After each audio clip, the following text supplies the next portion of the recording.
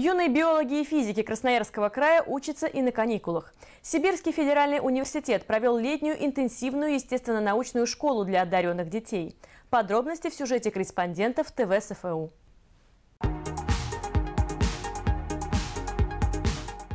В летней интенсивной естественно-научной школе занятия ведут преподаватели и студенты Сибирского федерального университета.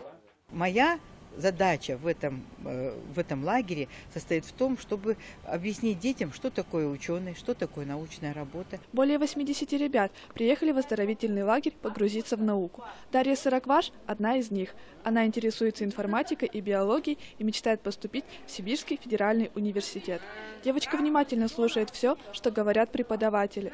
Дома ей будет что рассказать не только одноклассникам, но и учителям. Приезжаешь в школу и э, даже говоря учителям, что ты тут изучил, они просто иногда бывают так «ах» и не знают. Конечно, мы заинтересованы в повышении качества образования, чтобы абитуриенты к нам подходили, приходили с высоким баллом, э, с высоким запасом знаний. И в этом мы детей пытаемся мотивировать на знания и помогаем им эти знания получать. Летняя интенсивная школа естественно-научного направления реализуется в рамках краевой целевой программы «Одаренные дети Красноярья».